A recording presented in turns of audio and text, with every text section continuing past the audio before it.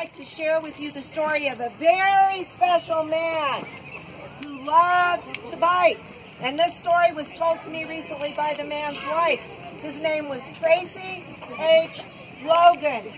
And Tracy Logan lived in Yellow Springs from 1969 until his death earlier this year. He was 84. He loved a lot of things about bicycling, but he especially loved children. And there was nothing that Tracy loved better than watching the kids get on their bikes and ride off for a bike trip. He believed cars were harmful to the environment and world, uh, our environment and world peace.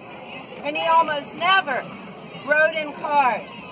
For him, a car was for a medical emergency or for carrying a canoe. He rode bikes and he walked. And he, but he loved all aspects of bicycling, and it was Tracy Logan that did so much to get Yellow Springs to be a bike-friendly city, village, town. he researched proper construction of bike paths. He helped make bike racks that don't wreck your tires. He put together and maintained a set of community bikes you could hop on where you found them and ride them till you got off. He led regular Sunday bike trips for families and Wednesdays for seniors. And he mapped out 15 different bike trips you could take around Yellow Springs. And in fact, According to his daughter Amy, Tracy was the first to put a milk crate on the back of his bike.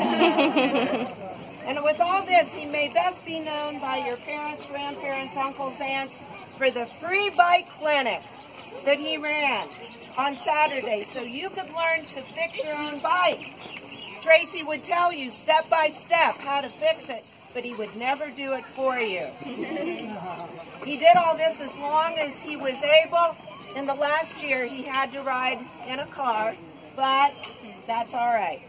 Tracy really liked that you Mills Lawn students got to participate in a bike hike, and if he would say something to you now, I think he'd say, you are precious, you are a gift to the world, and the world is a gift to you. Love yourself and love the world. Do what you love and do what you believe in. Make a difference if you can.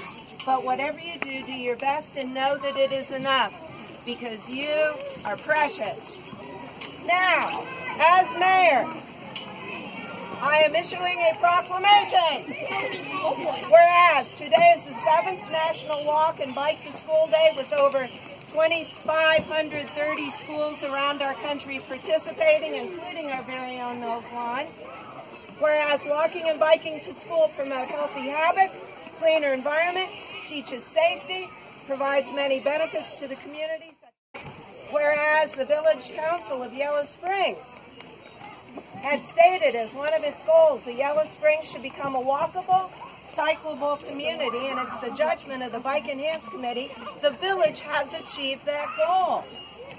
Whereas Yellow Springs resident Tracy H. Logan Jr., who lived in Yellow Springs with his family until 1969, until his death on February 25th of this year, he was the model of an avid cycling enthusiast and ambassador who did so much to encourage the habit of bicycling in our village.